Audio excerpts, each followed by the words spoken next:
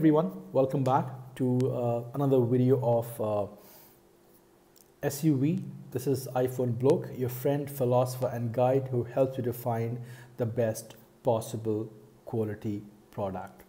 Right, so in today's video, I'm going to be talking about three specific SUVs which you should not buy in 2020 and uh, I really do not mean to harm uh, anybody's choice or anybody's uh, you know you know love for this particular brand because these three are wonderful brand but then keeping in mind my own explanation analysis observation market sales and review and most importantly the reviews from people those who use these products I have made a video and I just wanted to make sure that you all should not fall these three SUVs which are there in market, especially in 2020. So let's get started.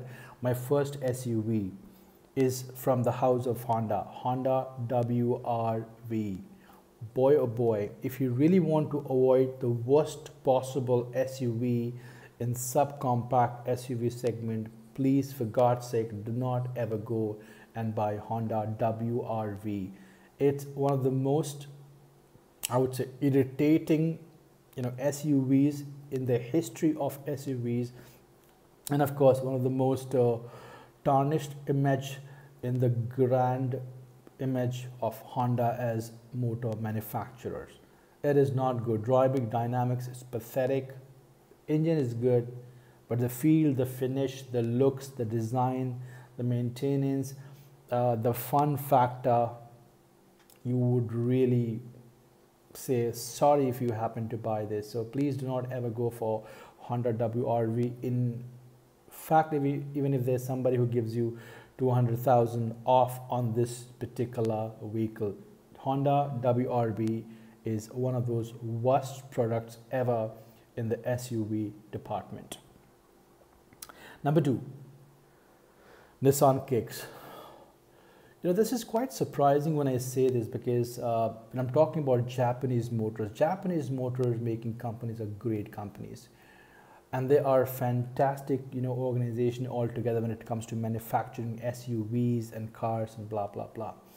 But Nissan Kicks uh, has indeed not lived up to the expectation of Nissan Motors. Uh, bad that construction, the way it has been manufactured. Uh, overall, the design is kind of mixed look. The front design is typical Nissan, which is okay. Yeah, uh, and somewhat good, you know, smart features you have in this particular vehicle. But then overall, if I go with the reviews, most importantly, people those who have used this product, they have given 99 out of 100% bad reviews. One of the viewers have also commented and stated that, you know what, why did I end up buying Nissan Kicks? It comes around uh, the top models close to 16 lakhs and trust me, it is not at all a product where you should invest your hard earned money. So that's number two. Number three, which is the most surprising name I'm going to open up and talk about. And I'll tell you the reason why uh, I want to talk about Tata Nexon. You know, it is one of the safest cars in India, uh, one of the most, uh, let's say, uh, affordable cars in the category of SUV, compact SUV.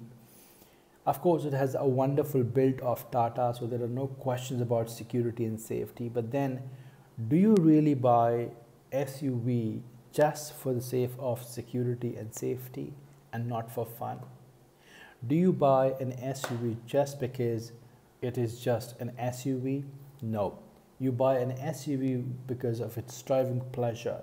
You buy an SUV because of its overall macho looks. You buy an SUV because it has the best mileage for you in the market. And trust me, in all these segments, the refinement level of Tata Nexon, uh, the looks from the back is absolutely weirdo just a bit like you know a Mahindra XUV300 if I see it from the back.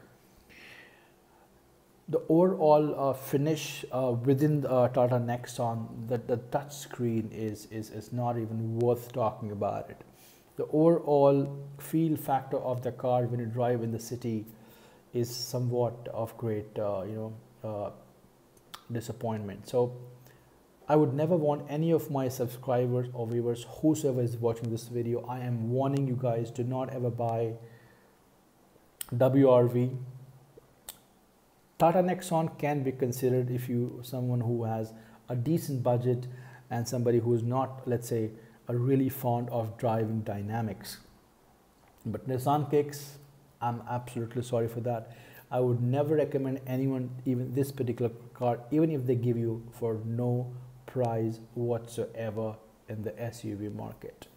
Well, with this note, uh, I would like to sign off. And not before I say thank you so much for being such a loyal subscriber, customers, individuals who have been contacting me and yes i should mention this uh, if you like our channel uh, if you like our views if you like our reviews please connect uh, with us on instagram and twitter wherein i'm really active and answering any of your question answer would be a cakewalk well till next time thanks for watching